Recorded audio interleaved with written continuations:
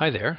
I'm going to show you a little bit about how to use the controls in for a video analysis in Logger Pro. Uh, Logger Pro is a software by Vernier Software and Technology. So first thing you're going to do when you open up a, a new file, you'll see this, and um, this is wider than my screencast, so I might need to scroll around. Um, so sorry for that, but we'll get through it. So first thing you want to do is insert a movie. So we go to Insert menu and Movie, and pick the, the video that you want to analyze. Um, I'm going to pick one that Vernier already has. Um, sample movies, one of the, just do the ball toss one. And, and there it is. And uh, here are your video control buttons, play, stop, rewind, and step frame uh, backward and forward. So if you play the video, it looks something like that, just a ball toss and reset. So we're going to take this um, and we're going to do a video analysis. And this button right here will open up the pane that has the controls on it. And we can use this button right here to turn on the, add point mode.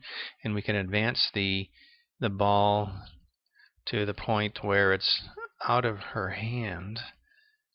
Mm, looks like it's out of her hand there. So any place on the ball is fine. We can just just do the top of the ball. Um, just as long as you, as long as you're consistent, it should be fine. So we're starting to collect points now.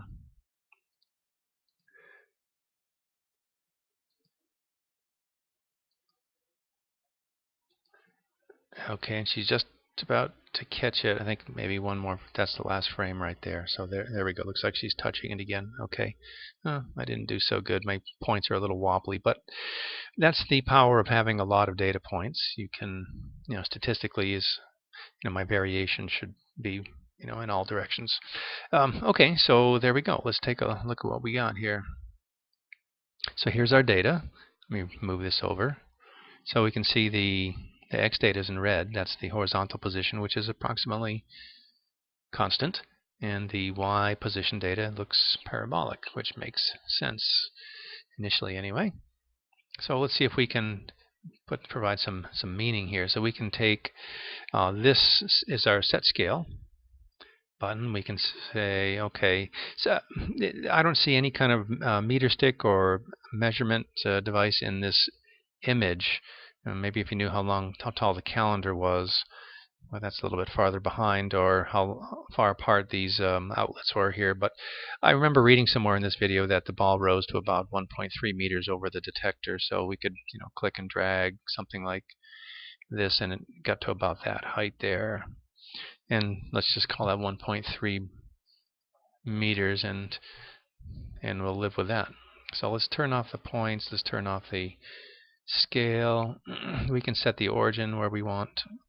Um, we can set it right there if we like. So we can move this around wherever we want to, just clicking. And if you grab this, this allows you to rotate the axes. And hmm, we don't need to do that. It looks like let's turn on the points here. Looks like it's going up straight up and down. So that's pretty good right there. So we can turn that off and that off. And, and that should do it. So let me go to page and just auto arrange and get these out of the way. Move this over here and we can see we have our x position. We can click on this over here and choose let's look at the x velocity. What should that be? That you decide, boy, that looks like it's all over the place, but look at the scale here. So we need to change this scale. Click and drag this down, drag this up, and if we get some kind of more reasonable scale here. Plus and minus uh, 1 meter per second. You can see that it wobbles a bit, but it's mostly right around zero. In fact, we can come up here do some statistics on it, and we can find that the statistics to get the mean is about 0.025. That's pretty small. Let's see if I can double click that to enlarge it. The appearance, um, let's pick a bigger 12 font. Okay, it's a little bit easier to see. Okay, so there we go. So there's the mean, or the average of all these points.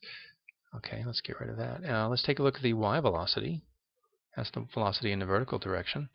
And that makes sense too. So we sh should be able to do a linear fit on on this. Oops, excuse me. drag this over here, and we can see the slope there is about minus 10 meters per second squared. Okay, the reason that's different from the expected value of gravity of 9.8 is, is because of my uh, approximation with the scaling. Um, okay, and that's about it. I think that's all I need to, all I can tell you about for the video analysis. Okay, that's as far as I'm going to go. Well, there it is. There's your introduction to video analysis with Logger Pro. Okay, bye.